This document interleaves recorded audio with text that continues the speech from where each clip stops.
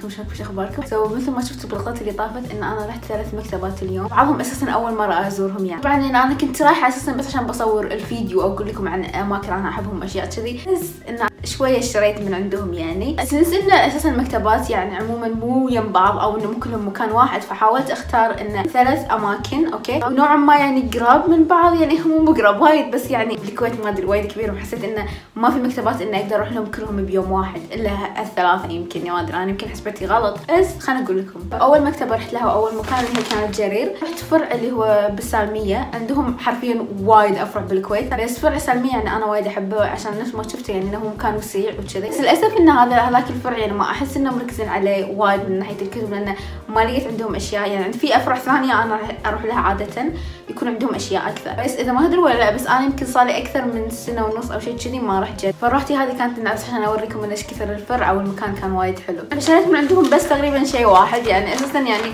صار فيني نفسه ما كنت بشتري بس إنه يعني كان وايد cute لدرجة إنه صار فيني إنه مستحيل ما أشتري. واللي هو كان كتاب Frozen كان عبارة عن شو اسمه يعني إنه تدورون اشياء يعني مثلا عندكم صفحه يعطونكم مني قائمة أشياء وتدورون عليها. تدرون ولا لا بس أنا حديت راش حق Frozen أو أي شيء له علاقة ب Frozen عادة لما ألقى أشياء دائما تكون لها علاقة بالأفلام فيكون مكرر فما أحب كذي يعني. I know like إنهم أساسا ما يمكن ما عندهم أشياء جديدة يسوونها. بس مثلا في ذيك مرة بالمعرض شريت كتاب وكان حيل غير قصته كانت جديدة. هذا حسيت إنه شيء مو مكرر وإنه شيء حلو إنه راح أستانس وأنا أسويه. فعشان شي شريته. ثاني مكتبتين كانوا بنفس المجمع واللي هو مجمع الحمراء بالكويت. ثنتين هم يعني عندهم هم من أفرع ثانية يعني هذول مو أفرعهم الكبيرة. يعني أول شيء عندنا مكتبة تكوين واللي كانت أول مرة أدش لها يعني أوكي خلينا نكون صريحة مع بعض يعني تكوين موجودة من زمان بالكويت تخيلة بس فرعهم الأول اللي هو بشويخ وايد بعيد. بس هذاك أكبر من الفرع اللي أنا رحت. بس يعني خلينا نكون واقعيين مع بعض يعني تخيلوا هم الفرع الحمراء وهو صغير وفي كل شيء وحرفيا كان وايد over حلو فما بالكم شلون راح يكون فرع الشويخ؟ كيف تكوين؟ هم حرفيا يعني أنا عادة أطلب من التلفون يعني حرفيا من أول ما أفتحه وأنا دائما أسوي توصيل توصيل توصيل. plus يعني دائما كنت أروح لهم بمعرض الكتاب. بس هالمرة كانت أول مرة أشتري من عندهم وأدش كذي يعني حرفيا.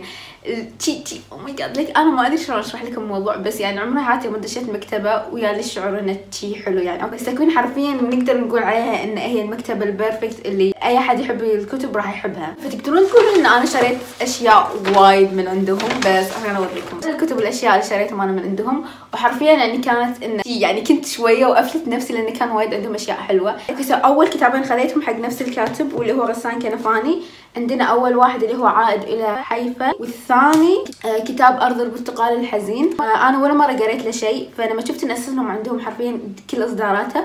وما توقعت إنه مثلا راح يكونون نسختهم شي حلوة يعني. صار فيني يعني ان أحس إنه راح يكون تجربة حلوة. والثاني كتاب خذيته هو كتاب مترجم ألا وهو شجرتي شجرة البرتقال الرائعة. سمعت وايد أشياء حلوة عن هذا الكتاب. أه سمعت وايد إنه يقولون عنه إنه هو كتاب يعور القلب وشي إنه يزعل فحرفيا أنا أحب هالنوع. الكتاب الثاني هم هو كتاب مترجم ألا وهو مزرعة الحيوان حق جورج أورويل. أه جورج أورويل أنا يمكن قريت له اللي هو كتاب 1984 وكان وايد وايد حلو. وايد أحب هذاك الكتاب. بس هذاك الكتاب يعني حسيته وايد كبير وشي عميق أشياء تصير فيه. بس هذا يعني أبوي حرفيا وايد قصير. ما توقعت إنه راح يكون هالقصة. ما أحس إن جورج أورويل أساسا في وايد كتب مترجمة له إنه عموما من رواياته. بس إن مزرعة الحيوان 1984 يمكن من أكثر الكتب مشهورة له. فحرفيا متحمسه بشوف إنه شلون راح يكون هذا. ثالث كتاب خذيته هو مقالات حق آه، كاتبة أنا ولا مرة قريت لها. هي بثينه العيسى. آه، ألا وهو كتاب حاء. حرفيا ما أدري شنو بالضبط كنت أبي آخذ من كتبها. يعني أنا عندي رواية فلما شفت الناس إن هناك عندهم وايد أشياء فصار فيني آه أنا وايد محتاره فخذيت إنه شيء صغير أو إنه شيء غير الروايات يعني. فقلت أجرب لها شيء ثاني. بالضبط ما أدري عن شنو يتكلم بس إنه بالمحتويات إنه شفت إنه مقسم على أربع أشياء. لأن الكتاب اسمه حا. تشوفون عندنا أول قسم اسمه الحياة القسم الثاني اسمه الحب القسم الثالث اسمه الحرية وآخر واحد اسمه الحقيقة. فراح يكونون شي مقالات بكم صفحة يعني مو وايد كبار. وايد في عناوين وحسيت إنه راح يكون الكتاب على قولتهم إنه حلو. أحب المقالات اللي تكون شي عن أشياء متنوعة يعني حسن حتى سالفة إن العنوان انه اسمه حاء بعدين اختارت أربع كلمات يبدون بحرف الحاء حسيت إنه وايد حلو. الكتاب اللي ورا خذيته من عندهم هم من مجال أنا عادة ما أقرأ وايد واللي هو أدب الرسائل. الكتاب هذا أساسا كنت بخطط اني اقراه PDF بس لما شفته عندهم صار فيني على طول بأخذه. الكاتب أنا ولا مرة قريت له ألا وهو من الأعمال رسائل أوسكار وايلد من السجن. آه، في كتاب واحد أنا أبي أقرأ حق أوسكار وايلد. هو كتاب صورة دوريان جراي. ولكن الكتاب يعتبر أتوقع fiction بس إن هذا non-fiction فيعني إنه توثيق لرسائله يعني اللي هو كان بالسجن بالسجن عرفته؟ صورة آه، دوريان جراي هو أصلا كتاب مهم إن لغته الأصلية إنجليزي. يعتبر من الكلاسيك. عشان كذي يعني أنا قلت إذا هذا يمكن أقرأه بالعربي لأن I'm not that good بالكلاسيك يعني بالإنجليزي. ما أحس إنه استوعبه بسرعة عادة يكون كلمات إنه مو سهلة. الكتاب خليته من تكوين اللي هو كان كتاب أنا قريته أو عموما سمعته بشهر ستة. كان حيل حيل عاجبني فعشان كذا يعني صار فيني انه أبي يكون عندي منه نسخة. ألا وهو كتاب ظلام مرئي. مذكرات الجنون حق ويليام ستايرون الكتاب الصوتي اللي سمعته برنامج كان ستوري تيل وحيل حيل كان حلو.